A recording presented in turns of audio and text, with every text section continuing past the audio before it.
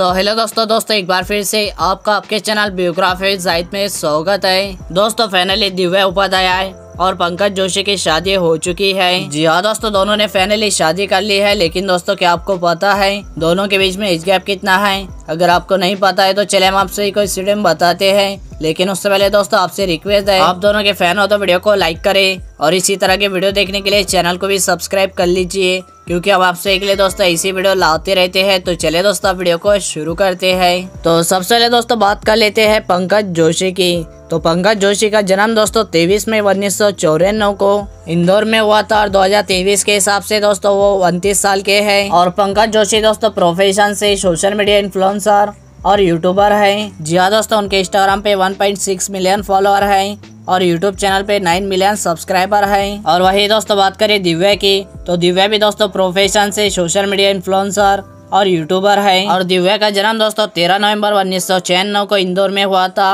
और दिव्या दोस्तों 2023 के हिसाब से 27 साल की है। तो अब दोनों के एज गैप की बात करें तो जैसा कि दोस्तों, आप सभी को मैंने बताया पंकज जोशी उनतीस साल के हो चुके हैं और दिव्या उपाध्याय सत्तावीस साल की हो चुकी है। तो इसी हिसाब से दोस्तों, दोनों के बीच में एज गैप दो साल का है। यानी कि दोस्तों, पंकज जोशी, दिव्या उपाध्याय से दो साल बड़े हैं। लेकिन वैसे दोस्तों, आप सभी को दोनों की जोड़ी कैसी लगती है, कमेंट में ज़ोर से बताइए। और आई होप दोस्तों, आपको ये वीडियो अच्छा लगा होगा।